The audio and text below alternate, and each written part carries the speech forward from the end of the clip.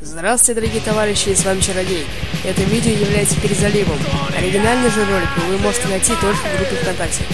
Сейчас, пользуясь моментом и вашими подсказками в комментариях, я решил более тщательно все проверить и более того, начать с самых глубин, то есть сначала прочитать историю и уже по пунктикам все проверить. Так что приятного просмотра.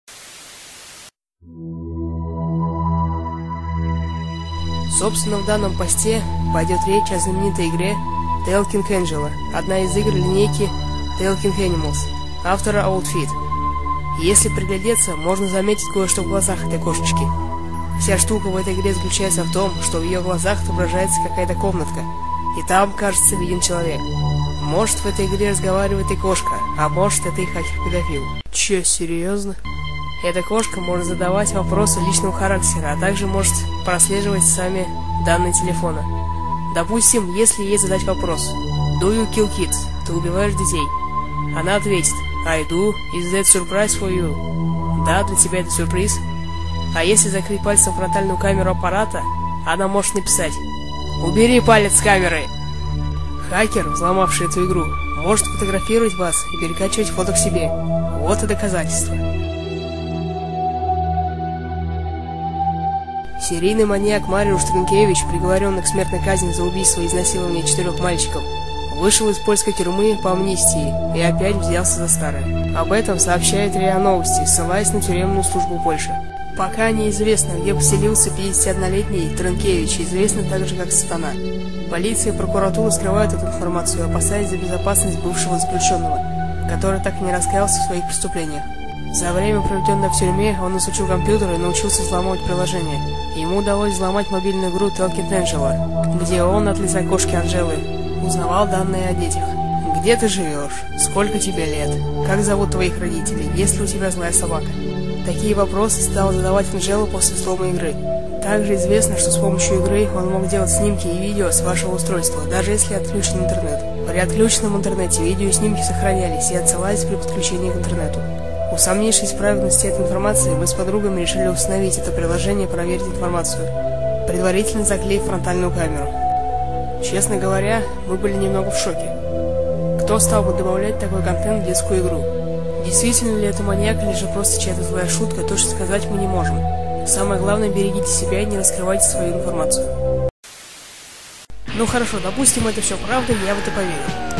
Начнем с самого первого, с маньяка. В интернете копаться долго мне не пришлось. Вы только спокойно, ладно? Спокойно. Да, да, он действительно существует и жив по сей день.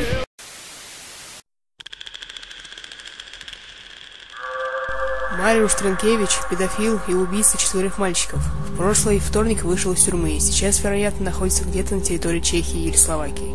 Сообщила польская газета «Фейкт», ссылаясь на свой источник, специалисты по защите важных свидетелей. Согласно информации газеты, Тренкевич получил новую личность, паспорт, квартиру и средства на проживание.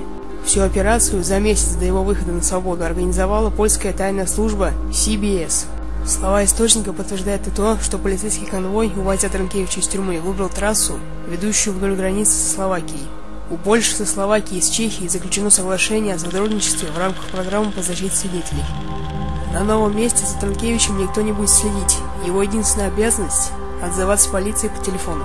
Ранее в СМИ появилась информация, Тренкевич будет жить в городе Рудосленское, но местные жители протестовали против такой возможности, а в социальных сетях прозвучали призывы линчевать педофила. Польская полиция заверила граждан, что предпримет все необходимые меры, чтобы защитить общественность от возможных преступных действий Тренкевича.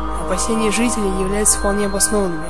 Согласно результатам психологической экспертизы, то есть заключению специалистов по психологии, сексологии и психиатрии, вероятность, что Тренкевич снова совершит преступление, высока. Летом 1987 в районе города Трибунальский были похищены, изнасилованы и убиты четверо мальчиков в возрасте от 11 до 13 лет. Люди, стараясь защитить своих детей, объединялись в родительские отряды. Чуть позже преступник был задержан. Им оказался учитель физкультуры Мариуш Трункевич.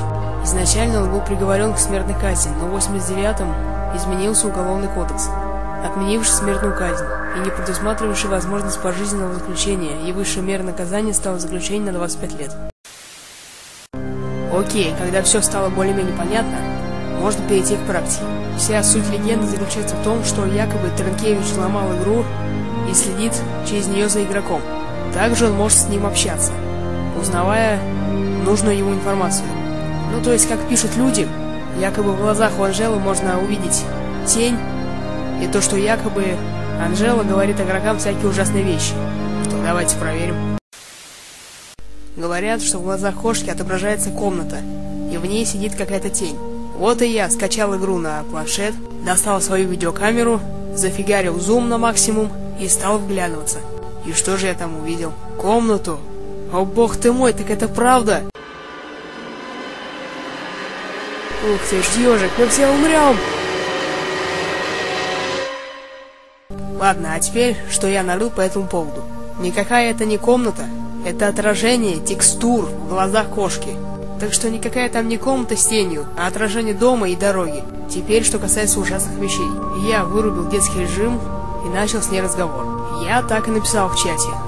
Do you kill kids? И вот что она мне ответила. Вбиваем это в переводчик. И да, все правильно. И это тоже оказалось бредом. Ну что ж, я думаю, миф разрушен до основания. И признаться вам честно, да, я никогда в это не верил. То, как я проверял, что находится в глазах у Анжелы, вы можете посмотреть в оригинальном ролике, который сейчас находится в группе ВКонтакте, ссылка в описании. Все озвученные мною тексты были озвучены в полном оригинале. Я их никак не изменял. Большое спасибо за просмотр, оставляйте в комментариях свое мнение, ставьте лайки, подписывайтесь на канал. С вами был Чародей и до скорого.